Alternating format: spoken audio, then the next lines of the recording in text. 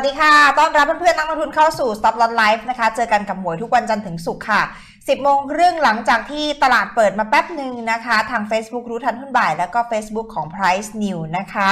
ตามตลาดกันต่อนะคะ ช่วงนี้เองตลาดเราคึกคักสดใสนะคะ เมื่อวานนี้ทะลุ 1,730 ขึ้นมาแล้วนะคะ เดี๋ยวเราไปตามกันต่อค่ะ ย้อนกลับไปดูบรรยากาศการลงทุน ในตลาดหุ้นเมื่อวานนี้กันก่อนเลยนะคะ ดัชนีปิดบวกขึ้นมาที่ 1,732.31 จุดนะคะ บวกขึ้นมา 8.60จุดค่ะด้วยมูลค่าการซื้อขาย 65,000 ล้านบาท นักลงทุนสถาบัน ยังคงซื้อสุทธิอีก 3,000 กว่าล้านนะคะ ในขณะที่นักลงทุนรายย่อยขายออกมาถึง 4,500 ล้านบาทนะคะ ตามที่ตลาดหุ้นในฝั่งของต่างประเทศสหรัฐเมื่อคืนนี้ ไม่ว่าจะเป็นดาวโจนส์ในสุทธิ500 NASDAQ นะคะปิดตลาดอยู่ในดันลบกันหมดเลยนะคะ ในขณะที่ตลาดหุ้นในฝั่งของยุโรปค่ะฟุซี่ร้อยบวกขึ้นมา 7 จุดนะคะดัชเยอรมนีอยู่ในแดนลบ CAC 40 ปิดตลาดร่วงลงมาอยู่ในแดนลบด้วยเช่นกันนะคะ ส่วนบรรยากาศตลาดหุ้นในช่วงภาคเช้าวันนี้เปิดมาก็ยังคงดูมีทิศทางสดใสนะคะ เดี๋ยวเราไปปรับเคล็ดลับการลงทุนกันสักนิดนึงนะคะ พูดคุยกันกับทางพินิพนธ์สวนประสิทธิ์นะคะ จากบริษัทหลักทรัพย์เอรานะคะ แล้วก็ตามกันต่อนะคะ วันนี้มีหุ้นน้องใหม่อันที่เข้าเทรดด้วยนะคะพินิพนธ์สวัสดีค่ะ ครับ ค่ะหนึ่งเจ็ดสามศูนย์ขึ้นมายืนได้แล้วนะคะ ขอปรับไม่นับเซตนะคะไม่นับอะไรทั้งสิ้นไม่เกี่ยวตัวเลขนี้ไม่เกี่ยวข้องกับการขึ้นของหุ้นอะไรเลย ไม่เกี่ยวนะคะ ค่ะค่ะไม่เกี่ยวเลยไม่ได้มีสาระสำคัญเลยนะครัค่ะบค่ะเพราะฉะนั้นถ้าแต่เรียนรู้ทางเทคนิคจริงๆอะถึงเจ็ดสามศูนย์ไม่ได้มีสาระอะไรกับการขึ้นลงของหุ้นไม่จะทำให้พอร์ตเรากำไรหรือขาดทุนนะครับ ค่ะ ไม่มีผลใดๆทั้งสิ้นตัวเลขสำคัญคือหนึ่งเจ็ดหนึ่งศูนย์หนึ่งเจ็ดหนึ่งศูนย์อ่านมาแล้วครับค่ะคือต้องยืนเหนือ1710ให้ได้นะครับ อย่าลงไปต่ำกว่านั้น ถ้าค่ะต่ำกว่านั้นก็จะหลุด 1690 นะครับ ก็ยังเป็นขาขึ้นอยู่นะครับ ค่ะ อันเนี้ยตัวเลขทางเทคนิคพวกเนี้ย1730เป็นตัวเลขทางจิตวิทยานะฮะ ไปหามาเลยโดยวิธีการไหนก็ได้นะครับ ไฟชาร์ตโดยวิธีการที่อ่าฟิโอนัชชีไม่มีตัวเลขนี้อยู่ในระบบในจักรวาลเลยนะครับค่ะได้ค่ะ ไม่ได้เป็นแนวต้านใดๆทั้งสิ้นแต่แนวต้านสำคัญกว่านี้มีปตท440เนี่ย แนวต้านปตทนะครับ PTT 440เนี่ยเป็นราคาสูงสุดของปตทนะครับอ๋อมันบอกอะไรเราบ้าง มันบอกเลยว่าปตทจะไป 500ค่ะหรือสูงกว่านั่นบอกได้เลยค่ะปตทจะราคา 440 บาทเนี่ยนะครับค่ะเมื่อเมื่อปีปี 07 นะเดือน 7 ปี 07 นะฮะขึ้นมา 440แล้วก็ลงไป 137ค่ะลงไปแล้วก็หลังจากนั้นเนี่ยสิบปีแล้ว สิบปีปตทมาเคลียร์ high เดิม 440นะครับ ก็หมายถึงว่าคนที่ติดปตทมาแต่แต่ในอดีตทั้งหมดแหละตอนเนี้ยก็เขาเท่าทุนหมดแล้วล่ะนะครับค่ะแต่สิบปีปตทก็จ่ายเป็นผลนะปีละสิบบาทนะร้อยบาทนะค่ะ จริงๆอะมันไม่มีใครติดหรอกนะครับอ่าเซ็ตอ่าเพราะฉะนั้นเนี่ยปตทผ่าน 440 แน่นอนนะครับ เพราะว่าวันเนี้ย ต้นทุนสรุปว่าต้นทุนของทุกคนที่ถือปตทมันเท่ากันหมดแล้ว ไม่มีใครติดหุ้นปตทอีกแล้วถูกไหมครับค่ะ ไม่มีใครติดละหรือติดไม่ถึงว่า ติดแล้วขึ้นมาขายแน่เลยนะครับอืมคือคนติดหุ้นปตท440นะแล้วรอมา10ปีอะถึงเวลานี้เขาขึ้นมาเนี่ยเขาคงลืมไปแล้วล่ะว่าเขาติดอยู่นะฮะค่ะเขาได้ปันผลไปอะไรไปเนี่ยก็คือเขาจบแล้วล่ะเพราะฉะนั้นนะถ้าปตทผ่าน440ต่างหากที่จะเป็นสาระสำคัญทำให้เซ็ตมันขึ้นอืมนะครับ ค่ะเพราะปตทไม่มีแนวต้านอีกแล้วนะครับค่ะทุกคนต้นทุนเท่ากันหมดแล้วนะครับ ไม่ถึงว่าต้านด้านบนอย่างเดียวก็คือใครพอใจที่จะขายปตทราคาไหนแล้วที่สูงจากนี้ใช่ไหมครับค่ะแต่ทุกคนอะต้นทุนเท่ากันหมดแล้วนะฮะหุ้นที่บางทีที่มันขึ้นไปไม่ได้เพราะอะไรครับ มันถ่วงล่างสู่บนผมยกว่าปตทจะไปสามร้อยตรงสามร้อยห้าสิบสี่ร้อยทำไมผ่านไม่ได้ค่ะนะฮะเพราะตรงสามร้อยถึงสี่ร้อยสี่สิบเป็นแนวต้านทุกแนวเลยมีคนติดอยู่ทุกแนว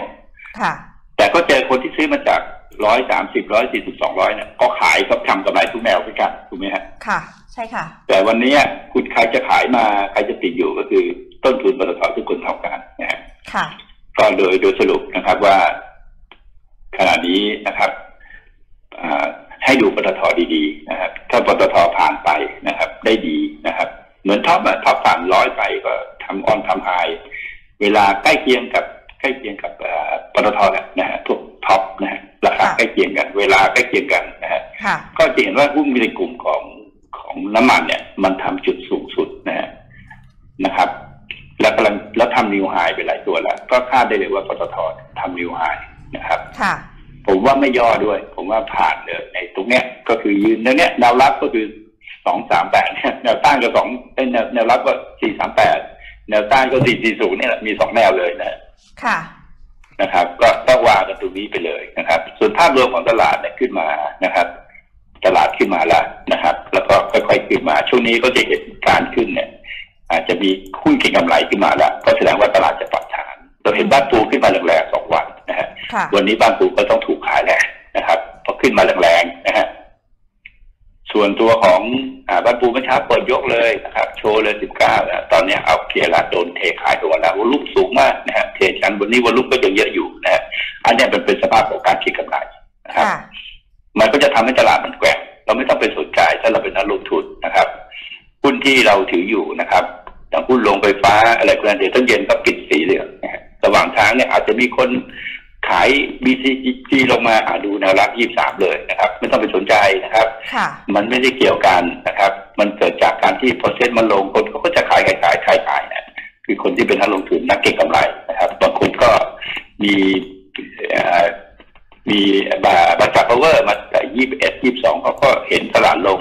ยี่สิบสามเขาก็ขายทำกำไร เราทนได้ไหมครับ จากที่ตั้งทนได้เราก็เราก็ถือต่อไปนะครับค่ะไม่ได้มี ปัญหาเลยเลยนะฮะเพราะเราบอกแล้วว่าเซ็ตเนี่ยเวลามันขึ้นมาแถวๆเนี่ยตั้งแต่หนึ่งเจ็ดสามหนึ่งขึ้นไปนะครับ จนถึงหนึ่งเจ็ดห้าศูนย์เนี่ย มันกำลังสร้างไหลขวาอยู่นะครับ แต่สำหรับเซ็ตเนี่ยเราต้องดูให้ถึงสิ้นวันนะครับ ค่ะ ดูสิ้นวันแล้วถึงจะตอบว่าอะตกลงวันนี้มันจะเป็นไงต่อก็ต้องดูเรื่องแท่งเทียนดูอะไรไปนะฮะแต่แถวๆเนี้ยต้องบอกเลยนะครับ ในเป็นเป็นแนวต้านนักจิตวิทยาบางคนก็จะบอกว่าเนี่ยดิเจสามสูตรไม่ผ่านหรอกเอาก็เมาวานไม่เห็นแล้วตามตามมาผ่านแล้วมันปิดสูงกว่าด้วยนะฮะ วันนี้หลุดลงมาอีกแล้วคนเนี่ยพอหลุดลงมาคนก็เป็นไงครับ ก็จะขายนะฮะโดยที่ไม่รู้ว่าตัวเลขดิเจสามสูตรเนี่ยมันคืออะไร มันเป็นตัวเลขทางจิตวิทยานะฮะค่ะ เป็นแนวต้านจิตวิทยาซึ่งผมเคยบอกว่าเป็นแนวต้านที่ที่ใหญ่ ที่คนเหมือนคนกลัวนะฮะแต่ในแง่ของความเป็นจริงอะนะครับ มันผ่านไปแล้วนะครับ แล้วตัวเลขตัวเนี้ยมันไม่มีอยู่ในสารระบบพันเจ็ดร้อยห้าสิบมีพันเจ็ดร้อยหกสิบมีพันเจ็ดร้อยแปดสิบเจ็ดมีพันแปดมีตัวเลขพวกนี้มีแต่พันเจ็ดร้อยสามสิบเนี่ย ไม่รู้ใครคิดมานะฮะไม่มีนะครับ เป็นตัวเลขที่เห็นอยู่เขาเรียกแนวต้านทางดาวทูรีนะครับ ซึ่งราคาปิดก็คือหนึ่งเจ็ดสองเก้านะฮะค่ะ อันนี้เป็นภาพแหละแต่จากนี้ไปก็จะเติมๆมีขึ้นมีลงนะครับ อาจจะมีแรงขายอะไรออกมาก็ว่าไปแล้วกันนะครับเอ่อก็ว่ากันไปตามนั้นนะครับสาระก็คืออยู่ที่หุ้นหลายตัว เอาเป็นว่าต้องยอมรับการปรับฐานของเฟดที่หนึ่งพันหนึ่งพันเจ็ดร้อยสิบเจ็ดก็ถือว่าเป็นปกติหนึ่งพันเจ็ดร้อยสิบ ก็ถือว่าปกติพันเจ็ดก็ยังปกติอยู่นะครับพอร์ตก็จะอาจจะขึ้นอะวันนี้บวกขึ้น วันนี้ลงอะไรเงี้ยนะครับหุ้นเก็งกำไรตัวที่เข้ามาวันนี้ที่ชัดเจนก็คือแจ๊สนะฮะค่ะแจ๊ดมีบวออลลุ่มค่ะเข้า อันนี้ชัดเจนเลยนะครับแจ๊สค่ะแจ๊สต้องบอกว่าเป็นหุ้นเก่งกำไรนะครับ คงมีเรื่องราวของเขาแหละเขาบอกมาตนานวันนี้แจ๊สนะครับวอลุ่มเข้าสูงกว่าปกติ 337เปอร์เซ็นต์นะครับต รงนี้นะครับ เราก็จะมี VNT นะครับ ที่วอลุ่มเข้า SCN เข้านะฮะคือวอลุ่มอะเริ่มไปโป่งไปโป่งในอะไรครับ ไปโป่งในหุ้นเก็งกำไรนะครับ มี ITD ด้วยวอลุ่มโต 123เปอร์เซ็นต์นะครับค่ะ SCN วอลุ่มโต 277เปอร์เซ็นต์ที่พูดถึงเนี่ยไม่ได้บอกว่าให้ไปซื้อนะค่ะจะอธิบายตลาดให้ฟังว่า เมื่อตลาดขึ้นมาถึงจุดหนึ่ง ที่หุ้นขนาดใหญ่อะมาชนปตทชน 440 ถูกไหมครับ ชนแนวต้านนะฮะ แล้วก็หลาย ๆ ตัวนะครับ ก็ขึ้นมาปตทสพก็ใกล้ๆร้อยก็มาชนแนวต้านนะฮะหุ้นขนาดกลางก็จะมาหุ้นขนาดกลางก็ขึ้นมาบางตัวก็ขึ้นมา ชนแนวต้านหรือว่าขึ้นมาอยู่ระหว่างทางนะครับ แล้วก็ซื้อของเสร็จแล้วชีเฉยๆใครอยากขายขายมาเขาก็ยืนซื้อในภาพตลาดที่ลงแบบนี้เขาก็จะยืนซื้อสมัครนักลงทุนส่วนนักเก็งอะไรอยากขายก็ขายมาค่ะนะครับ ภาพตลาดก็ตรงนี้ก็จะเป็นเป็นเป็นเป็นไม่จำเป็นต้องไปนะผมพูดตรงๆนะเซ็นยิ่งรีบขึ้นนะค่ะก็ถือว่าเซ็นลึกขึ้นไปมากๆเนี่ยก็ยิ่งเจอแนวต้านเป็นแนวๆเลยขึ้นเป็นแนวต้านที่ยาคนก็จะขายเซ็นก็จะไปไม่รอดนะครับ ต้องค่อยๆขึ้นนะครับ แต่ภาพของเส้นที่ขึ้นมาขึ้นมาแปดวันแล้วค่อยๆขึ้นนะครับแต่ถ้าเป็นขาขึ้นนะครับ ที่เรียกว่าแลนลี่นะแลนลี่อันเนี้ยไม่รู้ว่าจะยาวแค่ไหนนะครับแม้การขึ้นไปที่หนึ่งเจ็ดห้าศูนย์หนึ่งเจ็ดหกศูนย์ก็อาจจะไม่ทำให้พอร์ตของเรา นับจากตัวเลขหนึ่งเจ็ดสองสามสองเก้าสามศูนย์ขึ้นไปเนี่ย มันโตขึ้นมาก็ได้ เพราะหุ้นมันเริ่มเข้ามาสู่ในหุ้นหุ้นเก็งกำไรนะครับค่ะวันนี้ก็จะมาในกลุ่มสื่อสาร เราจะเห็นว่าตลาดเริ่มเข้า pattern แล้ว กลุ่มที่ขึ้นมาแล้วคือกลุ่มเบรกไปแล้วจำเนียหายไปแล้วคือกลุ่มพลังงานนะฮะกลุ่มที่สองก็คือกลุ่มธนาคารพาณิชย์หมายถึงว่าที่ทำอินเด็กซ์สูงกว่า1730 นะครับค่ะก็จะมีกลุ่ม Energy นะครับ มีกลุ่มของธนาคารนะครับ มีกลุ่มของ Commerce นะครับ มีกลุ่มของอผมพูดต่อนิดนึงมีกลุ่มของ P2KB นะครับนะครับ มีอินชูรันนะครับหมายถึงว่าหุ้นพวกนี้มีทางสปอร์ตแล้วก็หุ้นพวกนี้ที่ผมพูดถึงเนี่ยนะครับ มันได้ขึ้นไปสูงกว่านะฮะในกลุ่มของมันสูงกว่า 1,730 ไปแล้ว อย่างค่ะมีนัยสำคัญ ซึ่งกลุ่มที่ผมพูดถึงพวกเนี้ยมันเป็นกลุ่มที่นำตลาดนะครับค่ะส่วนกลุ่ม ICT วันนี้เราเห็นหุ้นที่ขึ้นส่วนใหญ่จะเป็นเป็นหุ้นที่ลงมาอยู่ข้างล่างนะฮะค่ะหมายถึงว่าไม่ได้ทำนิวไฮหรอก แล้วก็มัน underperform SET มากเลย ก็คือกลุ่ม ICT นะครับ ก็แสดงว่าถ้าเราเห็นแบบนี้นะ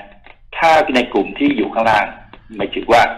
ลงมานะฮะในขณะที่เซ็ตเขาขึ้นแล้วตัวเองลงเนี่ยเริ่มขึ้นมาไหนเราจะเห็นว่าตลาดจะปรับฐานนะครับ ก็คือจะมีการขายหุ้นขนาดใหญ่หุ้นขนาดกลางอะไรก็แล้วแต่นะครับสำหรับ market maker นะเพื่อที่จะเงินไปขนาดกลางนะวันนี้ที่เราเห็นชัดๆที่แกนนะค่ะ เรื่องอะไรเราไม่รู้นะฮะแต่อันเนี้ยมันสื่อให้เราเห็นว่าเจ้าตลาดเนี่ยต้องการเนี่ยยังไม่อยากให้เซ็นลงค่ะยังขึ้นต่อไปอีกเขายังต้องทำให้เซ็นขึ้นต่อไปอีกนะครับส่วนแจ๊สจะขึ้นมาในเรื่องอะไร ก็เป็นเรื่องที่ถ้าเราไปคิดนะฮะต้องบอกว่าแจ๊สเนี่ย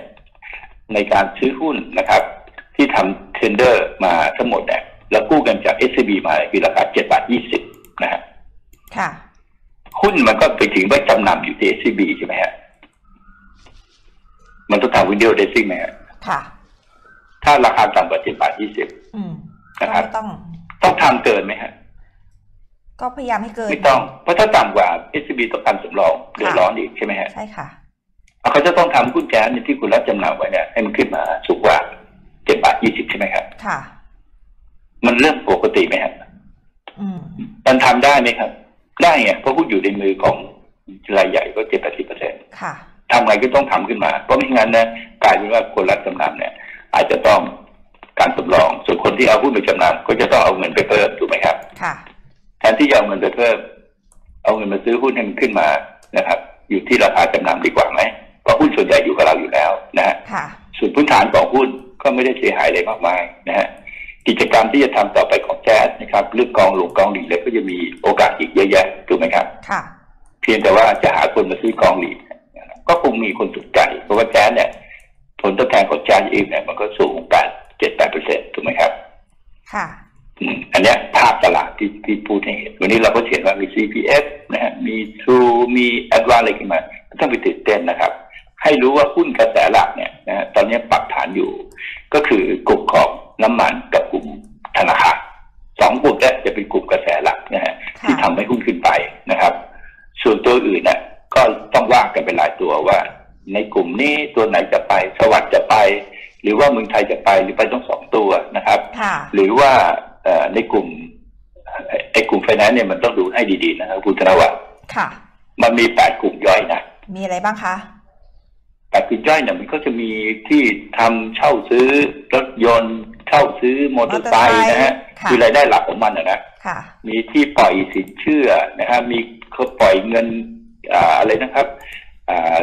เหมือนบัตรอิออนอะไรเงี้ยนะครับ อ่าอ่าอ่า ปล่อยบัตรเครดิตนะฮะค่ะ มีคนก็ปล่อยรายย่อยนาโนไฟแนนซ์อะไรโอ้มันมีหลายกลุ่มมากบางกลุ่มก็ปล่อยรถบรรทุกนะ มันแยกกันหมดนะแต่มันอยู่ในกลุ่มไฟแนนซ์นะเพราะฉะนั้นต้องดูให้ดีว่าไฟแนนซ์ตัวนี้ไฟแนนซ์อะไรนะ ไม่งั้นนะไฟไหม้นะต้องดูดีๆนะครับ ว่าอะอย่างสวัสดิ์เนี่ยก็เริ่มเริ่ม complex ขึ้นนะฮะเพราะสวัสดิ์ก็ไปซื้อบริษัทเงินทุนหลักทรัพย์มาใช่ไหมฮะก็ค่ะก็เริ่มคอมเพล็กซ์ขึ้นนะครับ MTLS ปล่อยอะไรฮะสวัสด์เนี่ยปล่อยทะเบียนรถเนี่ยนะมีทะเบียนรถก็ปล่อยเมืองไทยก็ปล่อยเลยฮะมอเตอร์ไซค์อะไรเงี้ยนะค่ะเออ ต้องต้องดูให้ดีนะครับ ว่าอืมทำไมกลุ่มตัวนี้ขึ้นทำไมเมืองไทยสวัสด์ขึ้นแรงเมืองไทยไม่ขึ้น มันดีอะมันดีช่วงแต่ละกลุ่มอะมันไม่ได้ดีในเวลาเดียวกันนะครับยกตัวอย่างว่าถ้าเศรษฐกิจไม่ดีนะครับกลุ่มที่ปล่อยรถบรรทุกจะดีไหมครับ ไม่ดี ไม่ดีนะฮะแต่ถ้าเศรษฐกิจแบบนี้นะครับการปัญหาจราจรในกรุงเทพเยอะนะครับ แล้วก็อีกรถไฟฟ้าเสร็จ คนจะลงรถไฟฟ้าอ่าตอนนี้รถไฟฟ้ายังไม่เสร็จคนจะขับรถไปทำงานอยู่อืมวันหนึ่งนะครับ คนก็รถไฟฟ้าผ่านหน้าบ้าน ออกจากบ้านมาที่รถไฟฟ้าทำไมครับ รอรถชัตเตอร์บัสเลยค่ะรอไปครึ่งชั่วโมงไปทำงานไม่ทันหรอกคนกรุงเทพใช่ไหมค่ะ ต้องเรียกมอเตอร์ไซค์ใช่ไหมเออมอไซค์เสเดี๋ยวร็จเดี๋ยวนี้เดี๋ยวนี้ก็มีแอปรมอถเตอร์ไฟไซค์แล้วเรียกได้เลยใช่ไหมแอปค่ะมอเตอร์ไซค์เนี่ยนะครับ เสร็จปุ๊บคุณคุณก็ขึ้นรถไปตอนยังคุณกลับมาบ้านนะคุณจะเข้าบ้านคุณนะคุณรอ shuttle bus นะค่ะ ระบบโครงสร้างของของผังเมืองของบ้านเราอะ มันไม่ได้เพื่ออำนวยนะครับ ให้ใช้การขนส่งที่เป็นลักษณะขนาดใหญ่นะเราเราจะเห็นเลยนะครับว่ารถที่วิ่งต่างจังหวัดขนาดเนี้ยรถบขสรถตู้ดีสุดถูกไหมครับค่ะเพราะมันวิ่งย่อยได้นะฮะเหมือนกันในกรุงเทพมอเตอร์ไซค์ครับ เพราะฉะนั้นที่สินเชื่อมอเตอร์ไซค์อะจะดีตลอดอืมอืมอืมยังดีไปอีกยิ่งรถไฟฟ้าเสร็จเมื่อไหร่สินเชื่อมอเตอร์ไซท่านั้นค์นะครับแล้วคนก็จะมาใช้ นั่งโมอเตอร์ไซค์มานะครับ ผมว่ามันบังคับว่าคุณนั่งไม่เป็นคุณก็ต้องหัดนั่งอะนะฮะค่ะในซอยมาที่สถานีรถไฟฟ้านะครับค่ะเพื่ออะไรครับ เพื่อที่คุณจะขึ้นรถไฟฟ้าไปทำงานค่ะนะระบบระบบจะเปลี่ยนเลย เพราะฉะนั้นค่ะยิ่งรถไฟฟ้าหลาย ๆ สายยิ่งเสร็จเสร็จมากเท่าไหร่นะมอเตอร์ไซค์ก็จะต้องขายดีเท่านั้น ก็จะมีคนมีอาชีพที่เป็นมอเตอร์ไซค์รับจ้างเนี่ยนะครับค่ะมากขึ้นเรื่อยๆนะฮะค่ะแล้วระหว่างวันทำไงครับพวกมอเตอร์ไซค์รับจ้าง ก็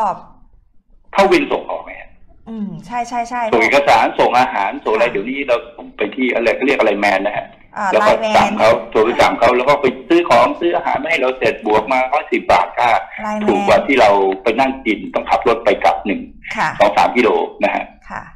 ถูกไหมครับ ระบบมันเปลี่ยนเนี่ยเพราะฉะนั้นโมอไซค์เนี่ยนะมันจะขายดีค่ะแต่ซื้อมอไซค์เดี๋ยวนี้เป็นไงครับ เอาไปเลยค่ะไม่ต้องจ่ายตังค์นะฮะไม่เพต้องราะยังไงดาวมันเยอะก็ไม่เสีย คุณปล่อยเข้าไปแล้วคุณถามว่าคุณไปทำอะไร ค่ะเอาผมมาไปวิ่งส่งส่งส่งคนโดยสารเข้าวินอ่าส่วนวินไม่มีส่งขก็องเป็นวินอาหารวินอะไรเต็มไปหมดเลยถูกไหมครับค่ะซึ่งมันกำลังใช่ค่ะเริ่มต้นมันก็จะกระจายไปทั่วๆนะฮะค่ะเพราะฉะนั้นเนี่ยมอเตอร์ไซค์ก็จะขายดีค่ะ ตัวตัวสินเชื่อไม่ไม่แต่รถมอเตอร์ไซค์ในในตลาดบ้านเราก็มีเหมือนกันนะคะหุ้น ที่ก็ดูต้องดูตัวที่เขาเก่งๆจริงๆ อย่างสวัสดิ์หรืออย่าง MTLS นะฮะค่ะเพราะการปล่อยสินเชื่อพวกเนี้ยมันก็มีปัญหานะว่าปล่อยไปแล้วเนี่ยมันก็เสียง่ายเหมือนกันนะค่ะสวัสดิ์ NTL บางคนมันดีเนี่ยนะครับ ดีเสร็จแล้วเนี่ย ไม่ใช่ว่าเอาไปทำวินดีเลยดีเอาเสร็จแล้วไปกินเหล้าไปเล่นกับพนันไม่ยอมผ่อนนะอืมก็ต้องไปตามยึดนะมันมีรายละเอียดอีกนะค่ะพี่นิพนธ์มีอีกนะคตัรับวหก็นึงจะต้องไปซื้อบริษัทที่เขาใหญ่พอสมควรมีโครงสร้างใหญ่แล้วก็มีระบบอะค่ะผมผมคิดว่าน่าจะเป็นเมืองไทยอยู่นะ นะครับเมืองไทยดิสซิ่งเหรอคะ MTLS เหรอคะ ใช่ใช่ MTLS นะ MTLS นะใช่คะมาดูราคากันสักนิดนึงนะคะพี่นิพนธ์คะก็จะท่อมไปแล้วกำลังจะเริ่มขึ้นรอบใหม่นะค่ะแต่ดูการเติบโตของเขาเติบโตได้จากการเสร็จของรถไฟฟ้าเลยนะค่ะดูง่ายๆเลยดูแค่เนี้ยพอนะครับ ระบบกลไกของบ้านเราเนี่ย ไม่ได้สร้างให้สำหรับการขนส่งที่เป็นระบบนะฮะระบบคือไม่ถึงผังเมืองกรุงเทพนะค่ะเป็นผังเมืองที่เรียกว่าเขาเรียกว่าพังเมืองนะฮะ ไม่เรียกว่าผังเมืองคือมันพังเมืองเนกอะไหมฮะค่ะผังเมืองก็คือว่า เวลาเขาเขาทำผังเมืองเนี่ยเขาจะวางทีเดียวเลยร้อยปีก็เรียกผังเมืองถูกไหมครับ ค่ะ แต่กรุงเทพเนี่ยของเราเนี่ยห้าปีเปลี่ยนทีสี่ปีเปลี่ยนทีมันเรียกพังเมืองคนเขาอยู่ของเขาดีที่สีลมถูกไหมครับ มันก็อยู่อาศัยได้ใช่ไหมครับ ในซอยเข้าไปในซอยสีลมมีตั้งหลายซอย ไม่ได้ติดถนนสีลมกับสาทรพอนึกภาพบอกไหมครับ ค่ะ วันหนึ่งก็มีคอนโดอะมารอบบ้านเขาเลย อันนี้ก็เรียกพังเมืองไงค่ะ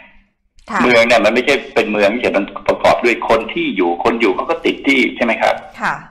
อ่าก็ต้องอยู่เขามีชุมชนพี่น้องอยู่ด้วยกันวันหนึ่งก็เอาอีกเจ้าหนึ่งขายไปทุกคนก็ขายออกไปหมดตามพังไหมฮะ ค่ะ ทางเมืองอะแม่ยังอยู่อะลูกยังย้ายไปอยู่ที่อื่นจะปลูกบ้านโอ๊ะมันก็คือเรื่องของอันเนี้ยนะครับอะสรุปว่าโมไซค์ดีก็ไปหาดูแล้วกันบริษัทค่ะไหนเป็นบริษัทที่ปล่อยเช่าซื้อกับโมไซค์ค่ะที่มีระบบที่ดีก็ก็ซื้อหุ้นของบริษัท นั้น ต้องมาสแกนกันอีกทีนะคะ ก็จะมีใช่หลักๆ ก็จะมีรถบรรทุกก็อาจจะสดี อาจจะมีการส่งของจำนวนเยอะๆในการวิ่งอ่าก็จะเป็นรถปิกอัพถูกไหมฮะค่ะเราเห็นรถปิกอัพที่เขาวิ่งส่งของไงคนขายติดเยอะที่ของมาจากลาซาด้าจากอะไรพวกเนี้ยนะค่ะเอาโมอไซค์วิ่งส่งบางทีมันก็ส่งได้ไม่เยอะของใหญ่ก็ต้องใช้ยศมันมีรถรถด้วยนะครับค่ะเพราะฉะนั้นเรื่องพวกที่ปล่อยทรัคเนี่ยมีใครก็ไปดูนะค่ะอันเนี้ยมันสามารถหาได้จากบทวิเคราะห์นะครับ ของอะไรนะครับของ ของโบรกเกอร์อยู่แล้วนะครับ เข้าไปคลิกดูนะครับ ในกลุ่มไฟแนนซ์เนี่ยแล้วก็เข้าไปดูใน Settrade ก็ได้นะครับ เวลาเขาวิเคราะห์เนี่ยเขาก็จะต้องบอกไว้ว่าไอ้บริษัทพวกเนี้ยมันทำอะไรนะฮะค่ะลักษณะของกิจของมันเนี่ยนะอ่าเขาทำธุรกิจอะไรเป็นหลักเป็น core business รายได้หลักเขามาจากไหน อันนี้เราต้องเข้าไปศึกษานะครับค่ะไม่ใช่ดูแต่ไพรซ์แล้วฟังเขาเล่าอืมว่ามันจะขึ้น แล้วหรือว่ามันมีโปรเจกต์อะไรค่ะนะครับ ที่จะทำแบบเนี้ยถ้าเป็นลักษณะแบบนี้ ถ้าเล่นหุ้นแบบนี้อยู่ยังเหมือนเดิมอยู่นะครับ ก็ขาดทุนแน่นอนนะฮะค่ะทุกอย่างมันละเอียดสลับซับซ้อน แต่สิ่งที่ช่วยเราก็คือพื้นฐานนะฮะมันจะช่วยเรา วิธีคิดง่ายมากนะครับ จะซื้อหุ้นอะไรสินค้าบริการของบริษัทนั้นนะครับ เป็นที่ต้องการนะครับค่ะของคนส่วนใหญ่ไม่ใช่คนสองสามคนนะค่ะของคนส่วนใหญ่แล้วก็มีโอกาสเพิ่มขึ้นไปเรื่อยๆกระจายไปเรื่อยๆโดยเฉพาะถ้าสินค้านั้นเพิ่งเป็นจุดเริ่มต้นของความ จะเห็นเลยนะครับภาวะเศรษฐกิจที่ไม่ดีสมัยก่อนบริษัทเช่าซื้อนะไฟแนนซ์ก่อนจะรถยนต์เอาไหมครับค่ะรถยนต์แล้วก็เจ๊งพังภาพไปหลายแห่งเลยซีมิกนะมีซีมิกมีบิ๊กนะครับเจ้าใหญ่เอทีเอฟนะฮะเจ๊งหมดเลยนะครับเพราะปล่อยจากรถยนต์ไม่มีใครกล้าปล่อยมอเตอร์ไซค์นะฮะค่ะการปล่อยเช่าซื้อที่ได้กำไรมากที่สุดขนาดนี้นะครับเป็นมาสิบปีแล้วนะ คือค่ะการปล่อยเช่าซื้อมอเตอร์ไซค์นะค่ะ มีมีอีกตัวหนึ่งเป็นตัวฐิติกรนะคะ ตัว TK นี่ก็ปล่อยสินเชื่อรถมอเตอร์ไซค์เหมือนกันนะคะ ก็เราก็ต้องไปดูนะครับค่ะมันก็จะเห็นภาพราคาเขาอะนะฮะค่ะภาพราคาหุ้นมันเป็นยังไง เราต้องบอกก่อนนะครับ ว่าเวลาเราซื้อหุ้นเนี่ยมันมีอยู่สองอย่างนะฮะนะครับ เราจะเห็นว่าหุ้นทิติกรเนี่ยก็ขึ้นแบบที่ผมพูดเลยนะฮะค่ะมาตั้งแต่11บาทขึ้นมาถ้าเราดูแพทเทิร์นของราคานะครับ ก็จะมันก็จะ มาสะท้อนในสิ่งที่ผมพูด แต่ก่อนหน้านั้นเนี่ยนะครับ มันไม่ดีนะครับก่อนหน้าผ่านไปสักเกือบสิบกว่าปีที่นั้นตอนที่เขาตั้งต้นใหม่ๆเนี่ยนะครับค่ะนะครับ พอเข้าตลาดเนี่ยยี่สิบาทแล้วลงมาเลยอยู่มาลงมาอยู่ที่ที่อ่าอยู่ที่แถวๆสองบาทนะฮะแล้วก็ขึ้นไปนะครับ สูงสุดนะครับ สูงสุดก็ในปีอ่าในปี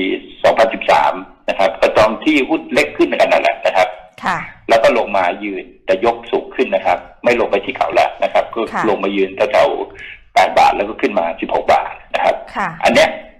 มันจะเป็นตามภาวะนะครับค่ะของเขาเลยนะครับ ว่าช่วงเริ่มที่เขาเริ่มต้นมาเนี่ยนะครับ ปล่อยไปหนี้เสียเยอะราคาเลยลงมาข้างล่างนะฮะหลังจากนั้นเนี่ยขึ้นไปโดยการเก็งกำไรกันมากเกินไป เพราะตลาดปีห้าหกมันขึ้นแรงนะฮะแต่ธุรกิจดำดีเวลามันลงมันก็ลงมาไม่หมด ตอนนี้มันกำลังจะขึ้นไปนะครับทำนิวไฮสูงกว่าเดิมนะดูดีๆนะครับ ค่ะ นะครับ เราสามารถดูได้เลยว่าเจ้าของหุ้นเนี่ยนะครับ ในช่วงที่ผ่านมาเนี่ยเขาเชื่อมั่นว่าธุรกิจของเขาเนี่ยต่อไปมันจะดีเขาไม่เคยขายหุ้นออกมาเลยนะค่ะอืผมพูดถึงย้อนไปตั้งแต่เขาเข้าตลาดเลยนะค่ะนะครับตั้งแต่เขาเข้าตลาดเลยนะฮะเนี่ยมาเข้าตลาดมาตั้งแต่ปีนู่นปีศูนย์สามนะนะฮะก็เกิดจากการเติบโตของเรื่องมอเตอร์ไซค์แหละนะครับ ค่ะ แต่ต่อไปมันก็มีหนี้เสียบางทีไปปล่อยกลุ่มกลุ่มพวกอะไรนะสาวโรงงานอะไรเงี้ยนะค่ะเออมันก็มีหนี้เสียนะแต่ถ้าคุณปล่อยกับคนที่เป็นวินมอเตอร์ไซค์อะนะฮะแล้วต่อไปกับพวกที่ทำโลจิสติกส์นะครับปล่อยให้พวกโลจิสติกส์รายย่อยเนี่ยนะครับค่ะอันเนี้ยหนี้ไม่เสียแน่นอนนะครับอืมค่ะ ได้ค่ะชัดเจนนะคะ วันนี้ได้แนวแนวคิดดีๆ กับการวิเคราะห์หุ้นที่เปลี่ยนแปลงไปตามพฤติกรรมของผู้บริโภคกับเรื่องของเทรนด์ต่าง ๆ นะคะ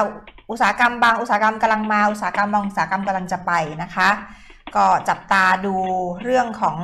ตัวรถไฟฟ้ากับการใช้บริการมอเตอร์ไซค์ของคนกรุงเทพ แล้วก็คนในประเทศไทยที่เพิ่มมากขึ้นนะคะ ค่ะพี่นิพนธ์คะย้ำทิ้งท้ายกันที่ทีเฟกับทองคำให้นิดนึงนะคะ ก็สลับเป็นขาขึ้นแล้วนะครับค่ะถ้าใครเป็นนักลงทุนซื้อหุ้นให้เสร็จนะฮะค่ะสัปดาห์นี้สัปดาห์หน้าซื้อให้เสร็จนะครับ ชอบตัวไหนก็ซื้อตัวนั้นนะครับ ชอบไม่ถึงว่าหุ้นต้องดีด้วย ถ้าไม่รู้หุ้นจะซื้อหุ้นตัวไหนก็ซื้อตามที่ผมบอกนะฮะค่ะซื้อตรงนี้ซื้อได้ทุกตัวซื้อได้ทุกตัวนะฮะแต่ซื้อวันที่มันลงนะฮะนะครับซื้อตรงนี้ที่ผมบอกแล้วว่า ถ้าใครซื้อก่อนในช่วงต้นเดือน ก็จะกำไรมากกว่าคนที่ซื้อตั้งแต่ในประมาณสิบเปอร์เซ็นต์ค่ะก็เป็นไปตามนั้นแหละเพราะหุ้นมันขึ้นมาชั้นต้นเดือนบางตัวสิบเปอร์เซ็นต์แล้วนะฮะค่ะแต่แถวๆนี้ละก็ยังมีอัพไซด์อีกอย่างน้อยก็สิบเปอร์เซ็นต์นะครับค่ะหรือบางตัวยี่สิบบางตัวห้าสิบ นะฮะซึ่งเราไม่รู้หรอกว่าตัวไหนนะครับค่ะหุ้นเป็นขาขึ้นแล้วนะครับ เพราะฉะนั้นเนี่ยคิดนะครับ ซื้อหุ้นถ้าขายถ้าเราเป็นนักที่เล่นสั้นเทคโปรฟิตไปนะครับ ก็อย่าไปเก็งราคาตอนซื้อกลับค่ะนะครับ ก็ต้องรีบซื้อกลับ คุณเห็นคุณขายไปแล้วมันแดงๆสองวันนะครับ คุณซื้อกลับเลย เพราะว่าอะไรครับ คุณเพิ่งผ่านประสบการณ์จากเมื่อสองเดือนที่แล้วที่มันแดงเจ็ดวันนึกออกไหมฮะค่ะ ไอ้แดงเจ็ดวันมันเป็นจิตวิทยาที่หลอนคุณอยู่เพราะหุ้นมันเป็นขาลงคือเขาปรับฐานอยู่ ตอนที่มันลงครั้งแรกไม่มีใครรู้เราหลุดทันหกร้อยห้าสิบหรือเปล่าสรุปเป็นขาลงเลยนะฮะเพราะฉะนั้นเนี่ยอย่าให้ภาพนั้นนะจิตวิทยานั้นมาหลอนคุณ อย่าบอกว่าเมื่อเดือนพฤศจิกามันเป็นอย่างนี้อย่างนี้ มันนั่นแหละเดี๋ยวรอให้มันชัวร์ก่อนนะครับ ถ้าคุณเล่นแบบนี้เราชัวร์นะ คุณติดดอยทุกยอดทุกรอบนะฮะตอนนี้หุ้นกำลังเดินมาแถวๆกลางดอยอย่าลืมว่าการขึ้นของขึ้นของหุ้นรอบนี้นะครับ ถ้าพันแปดเนี่ยขึ้นอีกสามสี่เปอร์เซ็นต์เองนะห้าเปอร์เซ็นต์เองนะไม่ได้ขึ้นเยอะนะนะครับ เพราะฉะนั้นเนี่ยถ้าคุณจะซื้อหุ้นนะครับ ตัวไหนคุณก็ดูนะครับ ดูตามนักวิเคราะห์คนไหนก็ได้ที่คุณชอบเขานะครับ คุณก็ซื้อตามไป คุณจะไปคิดหาหุ้นซื้อเองนะผมบอกเลยนะค่ะการที่คุณหาหุ้นซื้อเองนะคุณจะผิดพลาดบางคนชอบซื้อหุ้นที่ราคาต่ำๆนะถ้ามันไม่ขึ้นมันไม่ขึ้นนะคุณต้องซื้อหุ้นตามที่นักวิเคราะห์เขาแนะนำถ้าไม่รู้ว่าจะซื้อตัวไหนตามที่ผมแนะนำอะเอาแค่นั้นน่ะค่ะ ตังค์คุณไม่พอซื้ออยู่แล้ว แล้วก็กำไร อย่าไปคาดการณ์ว่าหุ้นขึ้นรอบนี้จะกำไรเป็นร้อยเปอร์เซ็นต์สองร้อยเปอร์เซ็นต์ไม่มีทางนะครับค่ะคุณได้กำไรยี่สิบเปอร์เซ็นต์เนี่ยก็ถือว่าคุณเก่งเป็นซูเปอร์สตาร์ของการขึ้นขึ้นขึ้นรอบนี้แล้วนะครับค่ะรอบเนี้ยจนขึ้นไปจะจบเนี่ยจบแล้วก็จะลงปรับฐานใหญ่ เหมือนตอนเดือนพฤศจิกาที่คุณเห็นเห็นแล้วกลัวนะฮะค่ะแบบนั้นนะนะครับ ไม่ได้กำไรเยอะครับ ค่ะ ได้ค่ะพี่นิพนธ์คะ ค่ะ วันนี้ได้ครับแนวสวัสคิดีดครันะบคะสวัสดีค่ะ พี่นิพนธ์สวนประสิทธิ์บริษัทหลักทรัพย์เอร่านะคะ สาระสำคัญอยู่ที่ตัวของ PTT ค่ะ 440 บาทจะเป็นแนวต้านถ้าย้อนกลับไปดูกราฟนะคะ ไม่ว่าจะเป็นตัวแพทเทิร์นนะคะของลักษณะของมันนะคะ หรือว่าเยียก็ได้นะคะจะเห็นได้ว่าจะมียอดอยู่ที่ 440 นะคะ แล้วก็พร้อมที่จะทำ new highs นะคะ ซึ่งถือว่าเป็นการมาของหุ้นขนาดใหญ่ที่ drive ตามเซตที่กำลังจะทำจุดสูงสุดใหม่ของรอบด้วย เพราะตอนนี้เราเริ่มได้ยิน 1,800 1,900 2,000 กันแล้วนะคะ เช่นเดียวกับ AOT ท่าอากาศยานไทยนะคะ หุ้นที่เป็น new high เป็นหุ้นที่ซื้อได้นะคะ แต่คุณต้องดูยกจุด stop loss กับจุดทำกำไรของคุณขึ้นไปเรื่อยๆนะคะ อย่างเช่นตัวของ AOT ที่เคยพูดคุยกันในรายการนะคะ บอกว่า 62 บาทตอนนั้นที่เบรกขึ้นมาเนี่ยเป็นจุดที่เป็นสาระสำคัญนะคะ ซื้อได้ค่ะ แล้วก็ตอนนี้ขึ้นมา 64 บาทแล้วนะคะ จะ 65 บาทแล้วด้วยซ้ำนะคะ เพราะฉะนั้นเนี่ยบางทีหุ้นขึ้นมาทำ new high หลายคนไม่ค่อยกล้าซื้อนะคะ ก็ซื้อได้นะคะ ถ้าเกิดว่าเพดานด้านบนเปิดโล่งเปิดกว้างนะคะ แต่ก็ต้องมีการยก trailing stop กันขึ้นไปด้วย แล้วก็ดูว่าจะมี story อะไรช่วยดันให้ราคาหุ้นไปต่อได้นะคะ ในขณะที่วันนี้มีหุ้นน้องใหม่ IPO หนึ่งตัวที่เข้ามาคือตัวของ CPT นะคะ CPT ค่ะทำธุรกิจเกี่ยวกับการจำหน่ายอุปกรณ์ไฟฟ้า แล้วก็ระบบควบคุมไฟฟ้าที่ใช้ในโรงงานอุตสาหกรรมนะคะ แล้วก็ให้บริการติดตั้งตู้ไฟฟ้ารวมไปถึงสถานีไฟฟ้าย่อยด้วยตอนเปิดตลาดเนี่ยเปิดมาบวกนะคะ ยืนเหนือจองขึ้นมานิดนึงนะคะราคาจอง IPO อยู่ที่2บาท30นะคะ แต่ว่าตอนนี้ราคารูดลงมาแล้วนะคะ ต่ำกว่าจองนะคะ ต่ำกว่าจองค่ะ CPT นะคะ ก็ เรียกว่ากำไรถ้าไปดูกันจริง ๆ ไตรมาส 3 ล่าสุดเนี่ยอยู่ที่ 55 ล้านบาทนะคะ เทียบกับช่วงเดียวกันของปีก่อนเนี่ยก็ถือว่ามีกำไรที่เพิ่มขึ้นกำไร 9 ปี 9 เดือนแรกของปีนี้อยู่ที่ 85 ล้านนะคะ ก็สูงขึ้นนะคะ จาก 9 เดือนที่แล้วของปีก่อนนะะก็คือกำไรเนี่ยโอเค ดีขึ้นนะคะแต่ราคาหุ้นเนี่ยไม่ค่อยจะ สดใสสักเท่าไหร่นะคะ แต่ถ้าเทียบดูกำไรก็ไม่ได้สูงมากนักนะคะก็เป็นปกติช่วงหลังก็จะมีเห็นหุ้นที่กำไรไม่ได้สูงมากนักเนี่ยนะคะคือเข้ามาในตลาดเป็นไปตามนโยบายที่ต้องการผลักดันให้ภาค SME เข้ามาลงทุนในตลาดหุ้นนะคะ ก็ต้องดูกันต่อไปถึงอนาคตข้างหน้านะคะ ตอนนี้ต่ำจองแล้วนะคะพรุ่งนี้มีอีกหนึ่งตัวนะคะ สัปดาห์หน้ามีอีก 2 ตัวค่ะ อีก 2 อาทิตย์นี้มีทั้งหมด 4 ตัวด้วยกันนะคะที่กำลังจะเข้ามาเทรดนะคะ